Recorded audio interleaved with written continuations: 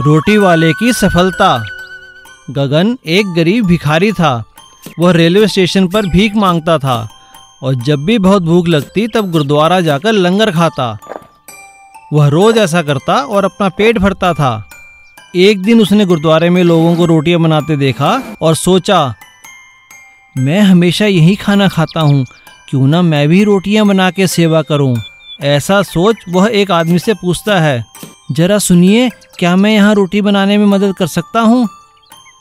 हाँ हाँ यहाँ पे कोई भी सेवा कर सकता है।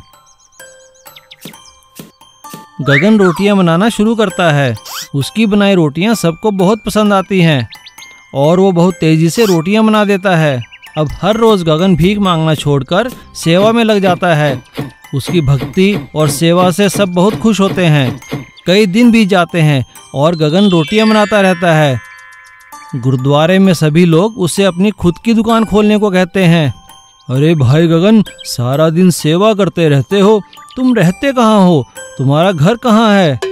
मेरा दुनिया में कोई नहीं है। मैं अनाथ हूँ। पहले भीख माँगता था और यहाँ रोटी खाकर पेट भर लेता था। पर अब मैं भीख नहीं माँगता, बस सेवा करता हूँ और प्रसाद समझकर खा लेता हूँ और रेलवे स्टेशन पर जाकर सो जाता हूँ। अरे भाई, कोई काम शुरू कर लो। अभी तुम्हारी उम्र ही क्या है? पैसा कमाओ और घर बसा लो। पर मुझे कोई काम नहीं आता।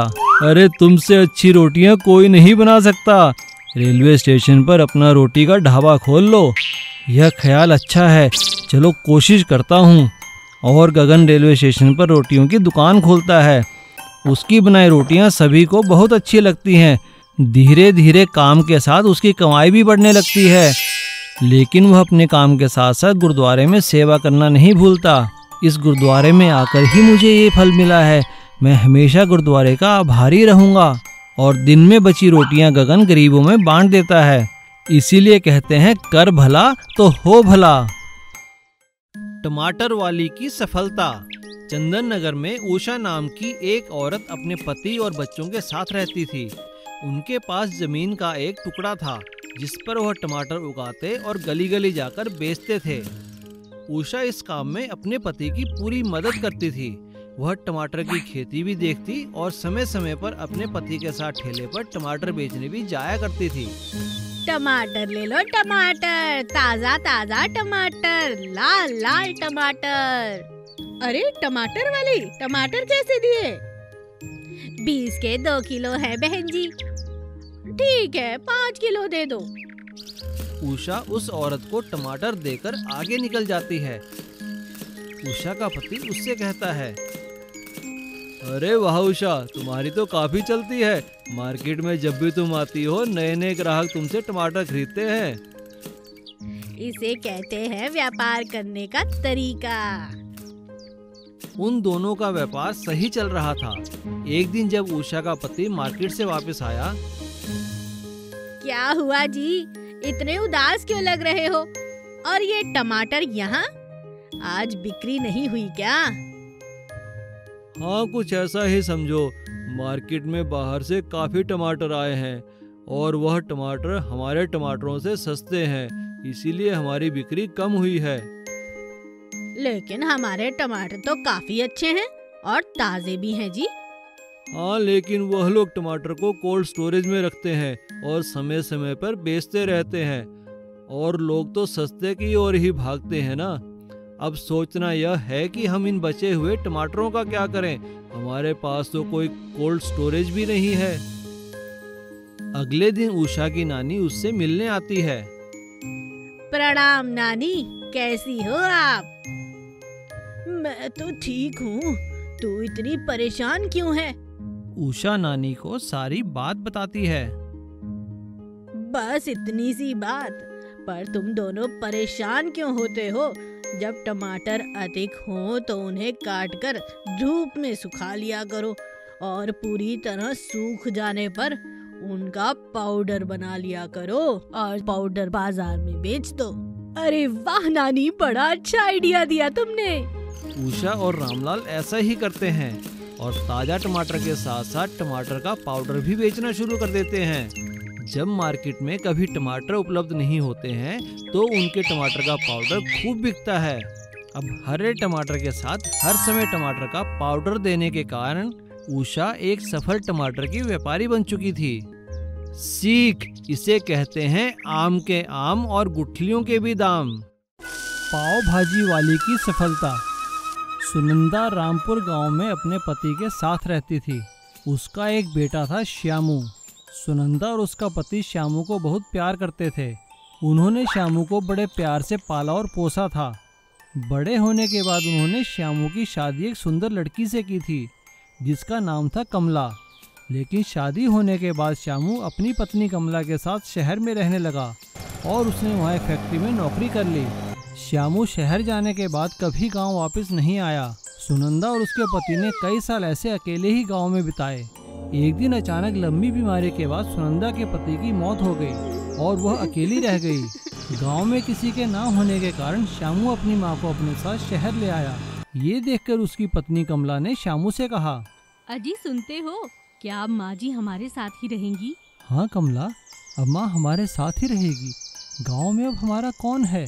पहले से ही खाने के लाले पड़े हुए हैं और अब ये बुढ़िया भी आ गई।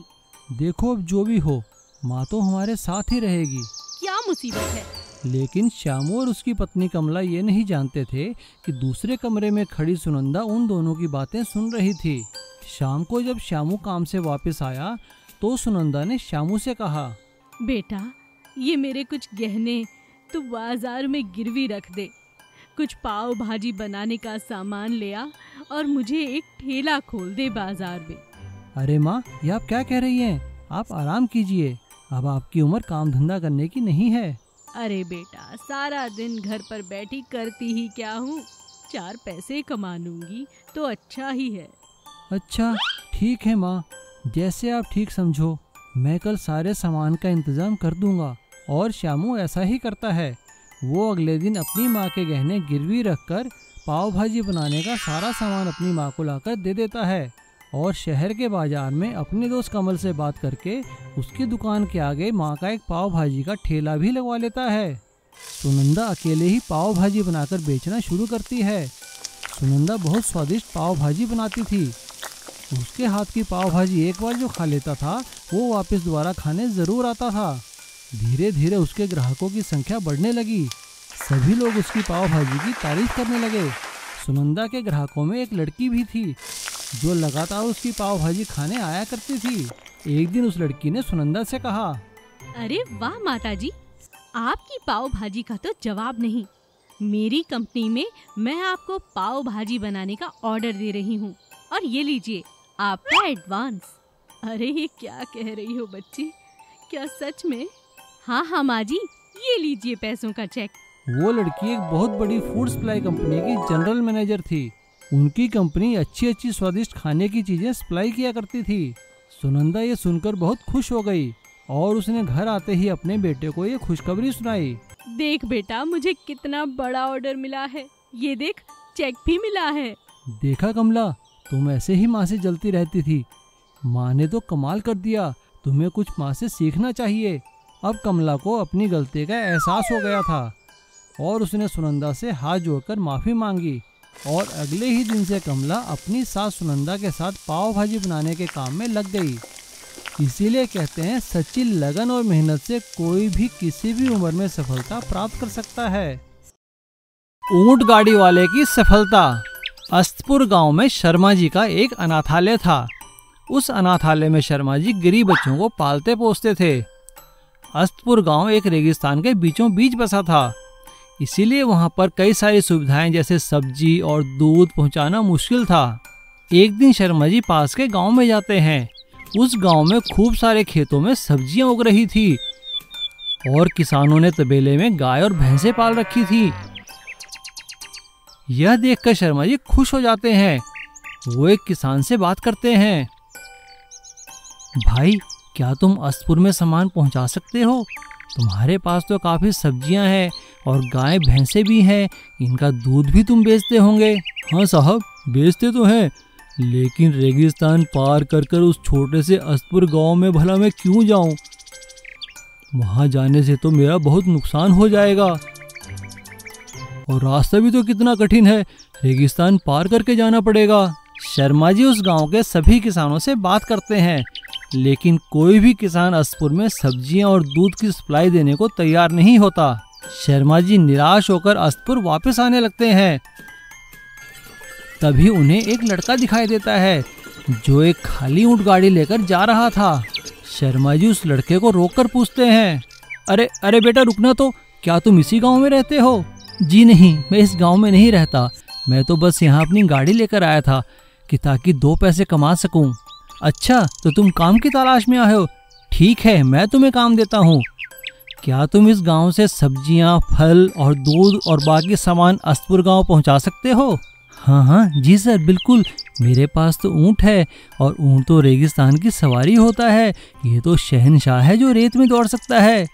मैं बिल्कुल अस्तपुर आपका सामान पहुंचाऊँगा।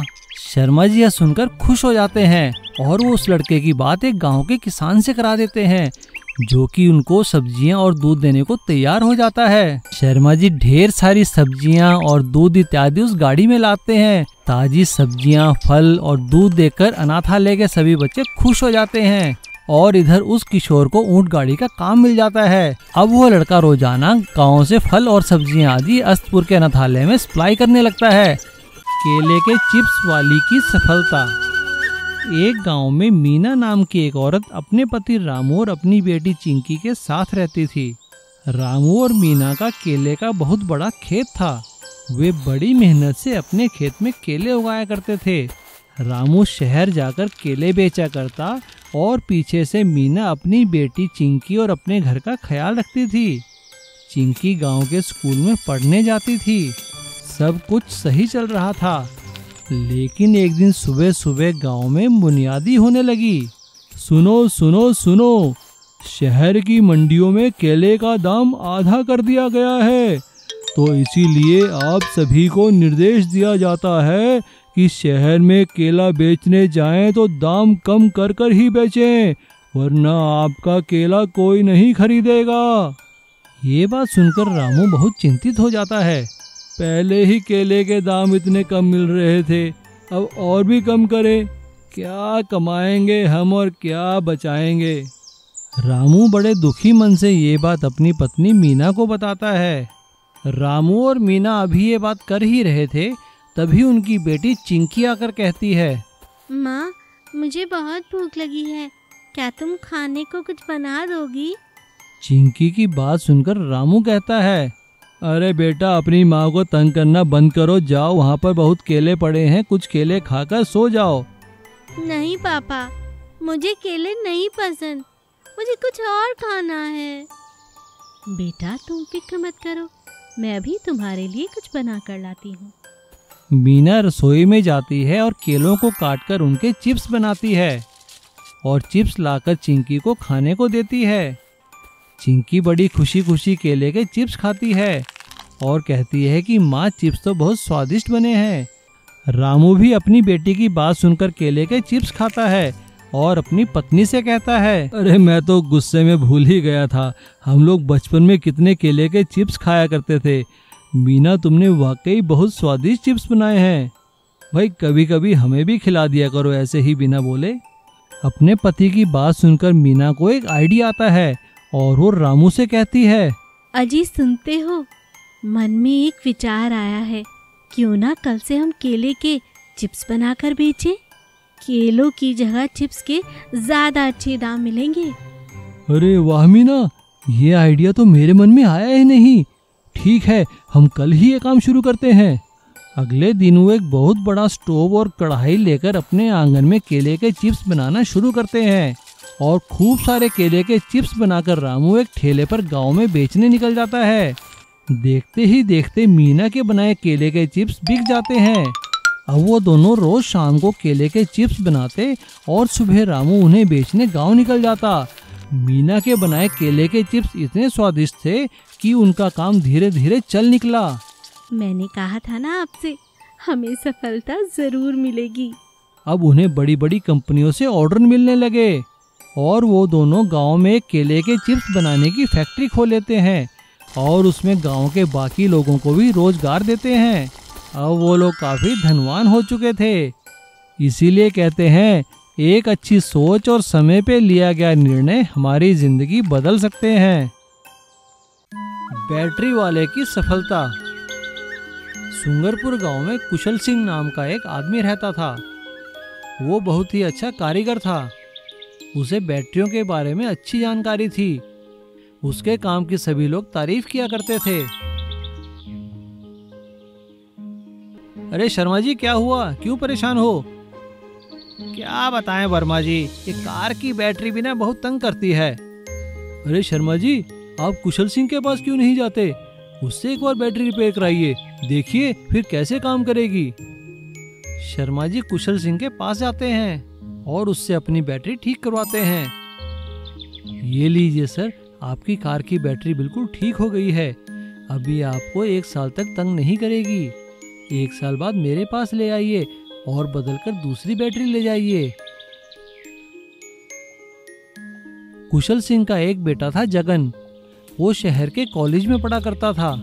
वो पढ़ाई लिखाई में अच्छा था, लेकिन वो अपने अमीर दोस्तों की नकल भी किया करता था। एक दिन जब रात को कुशल सिंह घर पहुँचा तो जगन को उदास देखकर उससे पूछा क्या बात है बेटा? उदास क्यों हो? क्या सोच रहे हो? पापा पापा मेरे सारे दोस्त कारों में आते हैं। मुझे भी एक कार ले दीजिए ना। मुझे बस में कॉलेज में जाते शर्म आती है. जगन की बात सुनकर कुशल सिंह सोच में पड़ जाता है। मैं ठहरा एक बैटरी ठीक करने वाला कारीगर। अपने बेटे को कार कहाँ से ला कर दूँ? लेकिन इसका दिल रखने के लिए कुछ ना कुछ तो करना ही होगा। अगले ही दिन कुशल सिंह अपने दोस्त विजय कबाड़ी के पास जाता है और उसके पास खड़ी एक पुरानी कार खरीद लेता है और रातों रात मेहनत करके उसे एक बैटरी से चलने वाली कार में तब्दील कर देता है और अगले दिन जगन के पास वो कार लेकर आता है। जगन बेटा, ये लो तुम्हारी कार। धन्यवाद पापा, लेकिन इसमें पेट्रोल कहाँ डलवाऊं? बेटा, ये कार पेट्रोल या डीजल से नहीं, ये कार बैटरी से चलेगी। मैंने इसे चार्ज कर दिया है। जाओ, निश्चिंत होकर जाओ। रात को आकर फिर से चार्ज कर लेंगे। जगन खुशी खुशी अपनी कार लेकर कॉलेज जाता है। उसकी बैटरी वाली कार देखकर सभी लोग हैरान हो जाते हैं। जगन जब कॉलेज से वापस आ रहा था, तभी उसे रास्ते में एक बहुत बड़ी गाड़ी खड़ी दिखाई देती है और एक आदमी जगन की कार को हाथ देता है। जगन कार रोकर उनसे पूछता है, सर, क्या बात है? कोई परेशानी है? मैं आपकी मदद कर सकता हूँ? हाँ बेटा, मेरी कार में पेट्रोल खत्म हो गया है। मुझे अपनी फैक्ट्री में बहुत ज़रूरी काम से जाना था। क्या तुम तो मुझे छोड़ दोगे? हाँ हाँ ज़रूर अंकल। बेटा, शहर में तो पेट्रोल है नहीं।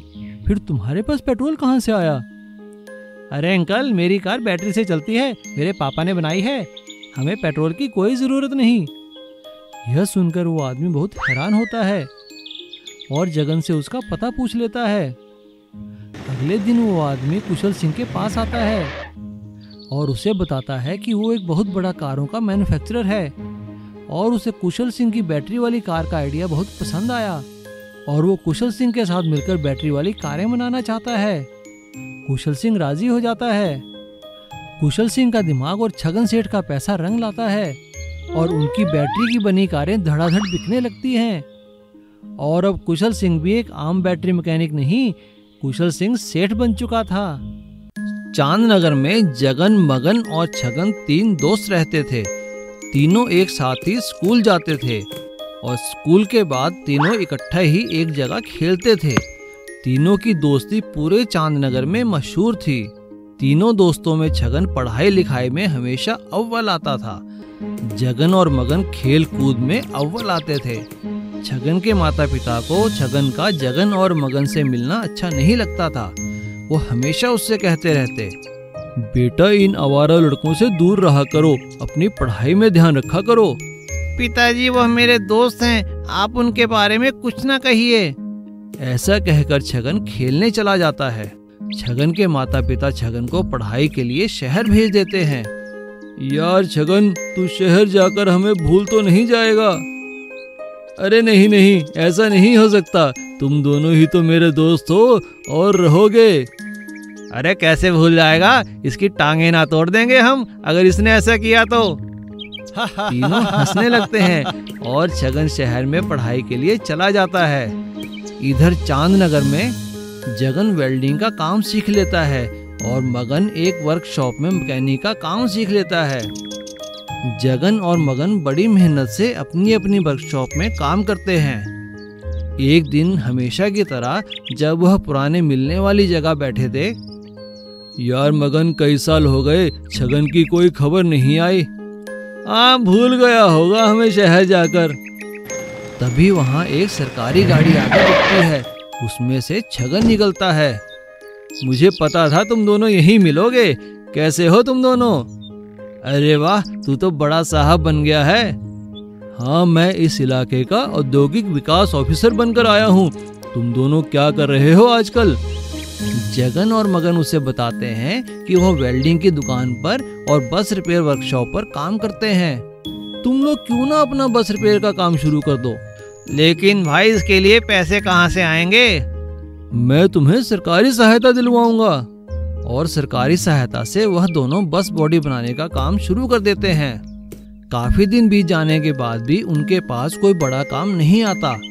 मगन जगन से कहता है, अरे यार जगन, ऐसा कब तक चलेगा? हमें सरकारी पैसा भी तो वापस करना है। तभी एक बस आकर वहाँ खड़ी हो जाती है। अरे भाई, ये वर्कशॉप आपकी है? जी हाँ हमारी है। अरे, पिछले मोड़ पर मेरी बस का एक्सीडेंट हो गया था। इसे ठीक कर देंगे आप? हाँ हाँ क्यों नहीं?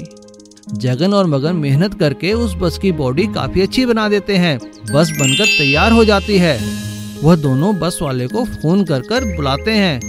अरे वाह, तुम दोनों ने तो बहुत अच्छा काम किया है। वह जगन और मगन के काम से खुश होकर अपनी सारी बसों की बॉडी बनाने का काम उन्हें दे देता है। सीख, मेहनत ही सफलता की कुंजी है। एक गाँव में जगन नाम का एक आदमी अपने परिवार के साथ रहता था। जगन का बाँस का कारोबार था।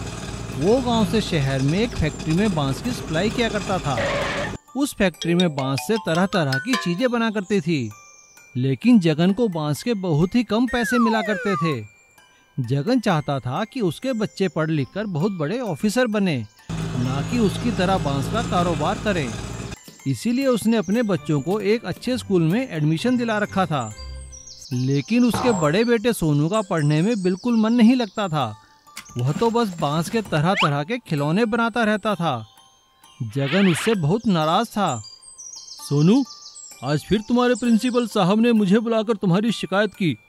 इस बार भी तुम्हारी क्लास में सबसे कम नंबर आए हैं। देखो मैं कहता हूँ कि बाँस की चीज़ें बनाना छोड़ो और अपना पढ़ाई में ध्यान दो। समय के साथ साथ सोनू बड़ा हो गया, लेकिन उसका बाँस की चीज़ें बनाने का शौक नहीं गया। वो अब बाँस की बड़ी बड़ी चीज़ें बनाने लगा, जैसे बाँस के बड़े अच्छे खिलौने, बाँस का फर्नीचर, मेज, कुर्सी इत्यादि। सारी दुनिया में महामारी फैलने के कारण देश में लॉकडाउन लग जाता है और शहर की फैक्ट्रियाँ बंद हो जाती है। और उनका काफ़ी नुकसान होता है। वो काफ़ी परेशान हो जाते हैं। अब हम क्या करेंगे? ये महामारी ना जाने कब खत्म होगी? इधर घर में और गाँव में बाँस के ढेर लगते जा रहे हैं। फ़िक्र मत करो सब ठीक हो जाएगा। अरे कमला मुझे अपनी नहीं तुम्हारे इस निकम्मे बेटे की फ़िक्र है। अगर ऐसा रहा तो कारोबार बंद करना पड़ेगा। इसका ना जाने क्या होगा। यह सुनकर सोनू कहता है। पापा पापा, मैंने आपकी समस्या का हल निकाल लिया है। चलिए मैं आपको दिखाता हूँ। सोनू अपने माँ बाप को उनके बाँस के गोदाम में लेकर जाता है। वहाँ उसके माता पिता देखकर हैरान हो जाते हैं कि वहाँ बाँस की कई तरह की मेज, कुर्सी और फर्नीचर बनाकर रखा था और वो भी बिल्कुल जैसे शहर की फैक्ट्री में बनते थे। सोनू अपने पापा से कहता है, पिताजी, देखिए, मैंने कितना अच्छा फर्नीचर बनाया है। अब आप बाँस का फर्नीचर बनाकर शहर में क्यों नहीं बेचते? जगन को अपने बेटे का आइडिया पसंद आता है, लेकिन वो अपने बेटे से कहता है, लेकिन बेटा, इस काम के लिए पैसा कहाँ से आएगा? और मजदूर कहाँ से आएँगे? और लॉकडाउन में हम सामान कैसे बेचेंगे? पिताजी, आप फ़िक्र ना करें, मैंने सारा बंदोबस्त कर लिया है।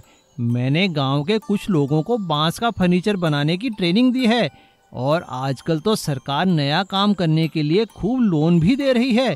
और बिक्री की तो आप फ़िक्र बिल्कुल मत कीजिए। लॉकडाउन में हम ऑनलाइन अपना फर्नीचर बेचेंगे। जगन अपने बेटे सोनू को ये काम करने की इजाज़त दे देता है और खुद भी उसके साथ मिलकर बाँस का फर्नीचर बनाने लगता है। देखते ही देखते उनका काम चल निकलता है और अब वो शहर में बाँस बेचने के बजाय गाँव में ही बाँस का फर्नीचर बनाने की फैक्ट्री लगा लेते हैं। और उनका बनाया फर्नीचर शहर ले जाकर बेचने लगते हैं। अच्छा और सस्ता होने के कारण लोग उनके फर्नीचर को हाथों हाथ खरीद लेते हैं। और ऑनलाइन भी उनका फर्नीचर खूब बिकता है। आलमगढ़ गाँव में सुरेंद्र नाम का एक मजदूर रहता था। वो बहुत ही मेहनती और ईमानदार था। वो आलमगढ़ की पत्थर की खदानों में काम किया करता था। उसके परिवार में उसकी पत्नी और एक बेटी मीरा थी। उसकी पत्नी राधा बहुत ही सुशील थी। वो घर का काम बड़े अच्छे से संभालती थी और उसकी बेटी मीरा पढ़ने में बहुत होशियार थी। माँ माँ देखो देखो मैं फिर से अव्वल आई हूँ। शाबाश बेटा हमें तुम पर बहुत गर्व है। हाँ राधा तुम सही कहती हो। हमारी जमा पूंजी तो हमारी ये बेटी मीरा है। हमें इस पे बहुत नाज है। सुरेंद्र और राधा का सपना था कि वो मीरा को पढ़ा लिखा कर एक बहुत बड़ा इंसान बनाए। सब कुछ सही चल रहा था, लेकिन एक दिन खदान में एक दुर्घटनावश सुरेंद्र के हाथों पर बड़ा पत्थर आ गिरा, जिस कारण सुरेंद्र के दोनों हाथ काटने पड़े। अब वो कोई काम नहीं कर सकता था। उनके ऊपर मुसीबतों का पहाड़ टूट पड़ा। राधा चिंतित हो जाती है कि अब उनका गुजर बसर कैसे चलेगा और मीरा के भविष्य का क्या होगा, उसकी पढ़ाई लिखाई कैसे पूरी होगी। एक दिन जब मीरा अपने कॉलेज से वापस आती है तो अपनी माँ को चिंतित देखकर उससे पूछती है। माँ क्या हुआ? इतनी चिंता में क्यों बैठी हो? बेटा चिंता कैसे ना करूँ? घर कैसे चलेगा? खाएँगे क्या? मुझे तो बहुत चिंता हो रही है। इन सब का तेरी पढ़ाई पर क्या असर होगा? हमारे सपनों का क्या होगा बेटी? कोई बात नहीं माँ भगवान सब ठीक करेंगे। चलो माँ मुझे भूख लगी है। कुछ खाने को दो ना। खाना खाते हुए मीरा को एक आइडिया आया। उसने अपनी माँ से कहा माँ तुम तो कितना अच्छा खाना बनाती हो। क्यों ना खाना बेचने का काम शुरू करो? हमारे कॉलेज के बाहर एक बूढ़ी औरत भी खाना बेचती थी। उसका काम बहुत अच्छा चलता था। शायद वो अब गाँव चली गई है। पता नहीं आ नहीं रही आजकल। बात तो तेरी अच्छी है बुरा आइडिया नहीं है। राधा को मीरा का आइडिया अच्छा लगता है। और वो अगले ही दिन से ठेले पर कॉलेज के चौराहे पर खाना बेचना शुरू कर देती है। राधा के हाथ का बना स्वाद खाना खाकर सभी लोग खुश होते हैं। सभी लोग उसके खाने की तारीफ़ करते हैं। दिन पर दिन उसके ग्राहक बढ़ते जाते हैं। हॉस्पिटल से आने के बाद सुरेंद्र भी उसकी सहायता करता है। इस तरह से दोनों राधा और सुरेंद्र मेहनत करके अपनी बेटी को फिर से पढ़ाने लगते हैं। मीरा पढ़ लिख कर एक बहुत बड़ी सरकारी ऑफिसर बन जाती है। लेकिन राधा और सुरेंद्र सड़क पर खाना बेचना नहीं छोड़ते। एक दिन उन दोनों के ठेले के आगे एक सरकारी गाड़ी आकर खड़ी होती है। वो लोग हैरान हो जाते हैं। उस गाड़ी में से उनकी बेटी मीरा उतरती है, जो कि एरिया की कलेक्टर बन चुकी थी। गाड़ी से उतरकर मीरा सबके सामने बिना शर्म के अपने माँ बाप के गले लग जाती है। यह देखकर वहाँ खड़े सभी लोग ताली बजाने लगते हैं। और सुरेंद्र और राधा का खुशी का कोई ठिकाना नहीं होता। वो लोग बहुत खुश होते हैं। मीरा राधा से कहती है माँ ये सफलता मेरी नहीं ये आपकी सफलता है। मैं आज जो भी हूँ आपकी मेहनत की वजह से हूँ। बैम्बू बिरयानी वाले की सफलता। मोहन और सुनील बहुत अच्छे दोस्त थे। वो दोनों लकड़ हारे थे। वो दोनों जल्दी सुबह जंगल चले जाते और वहाँ से लकड़ियाँ काट कर लाकर गाँव में व्यापारियों को बेचा करते थे। वो दोनों बहुत मेहनती और ईमानदार थे।